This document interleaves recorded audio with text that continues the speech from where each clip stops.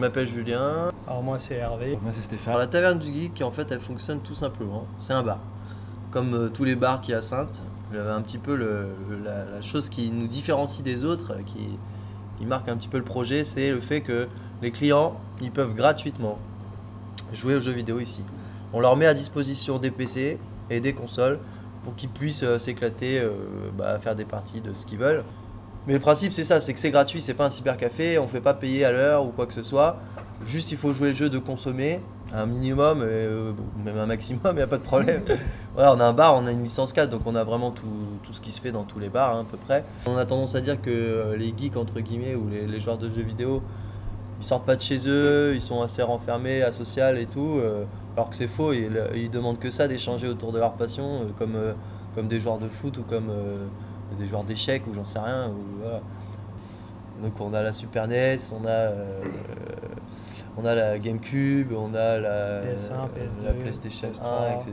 Voilà. On a fait un petit site internet là qui nous sert pour l'instant, on va dire, de, de vitrine. Donc là aussi, vous pouvez savoir ce qui se passe euh, sur la semaine. Donc il faut savoir que tous les soirs, il y a un événement. Samedi, par exemple, on fait un, un gros tournoi de Bomberman sur euh, Super Nintendo.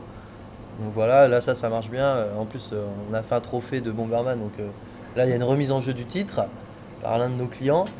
Donc voilà, ça se joue à 4 en même temps, donc c'est c'est mar- c'est marrant quoi.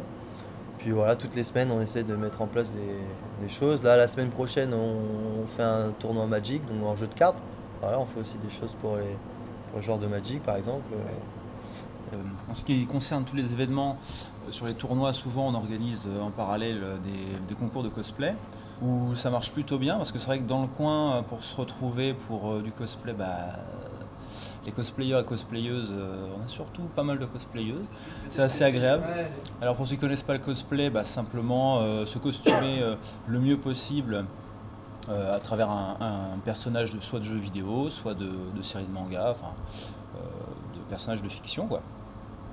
Et donc euh, bah, on fait euh, un petit défilé et puis euh, il y a des, un jury et puis euh, le jury détermine quel est le plus beau costume et puis, et puis Nous avons en plus dans, dans notre événementiel régulièrement le beer pong qui actuellement donc on a acheté et investi dans une table de ping pong. Alors voilà avec les moyens du bord pour faire des vraies parties de beer pong. euh, on va investir acheter donc euh, trois tables de beer pong là d'ici peu de temps et on pourra euh, dans la galerie profiter pleinement de parties entre amis de beer pong.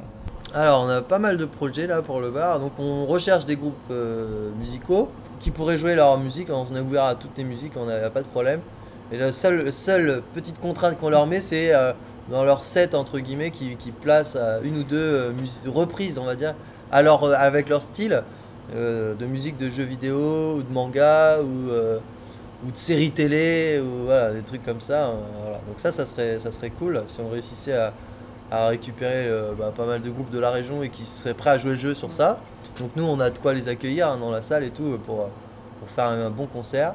On est assez content parce qu'on a vraiment une très bonne clientèle, respectueuse et puis euh, vraiment ouverte à, enfin voilà, de, n'importe quel âge. euh, c'est vraiment ça. c'est- Je pense que c'est le point fort de notre, établissement. Il n'y a pas qu'un type de population qui viennent dans notre bar. Pour ceux qui n'ont pas eu encore le, courage de venir ou qui ont eu un peu peur, ils se demandent qu'est-ce que c'est que ce bar bizarroïde.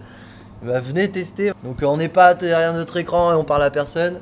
Voilà, on partage, on vous fait découvrir des, choses. et voilà, et puis euh, osez et venez nous voir.